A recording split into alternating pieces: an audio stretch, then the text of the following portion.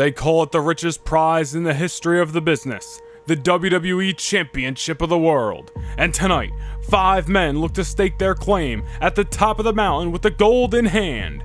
AJ Styles, the former champion, who lost the belt in a match of the year candidate at SummerSlam, looking to once again prove just how phenomenal he can be.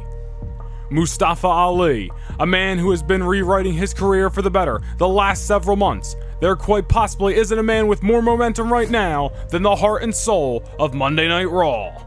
Austin Theory, a man who proclaims he is the future of the WWE, looking to prove himself correct by taking home the title.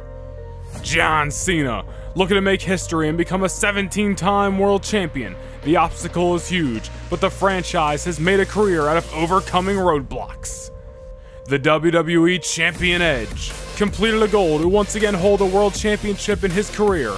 At this stage, there may be no tougher man to beat than the rated R superstar. Five men are about to step inside one ring, four will fall, and only one will be the last man standing. And to the victor goes the spoils. The winner will leave the heart of Seattle, Washington, with the claim of being the face of the WWE as its champion.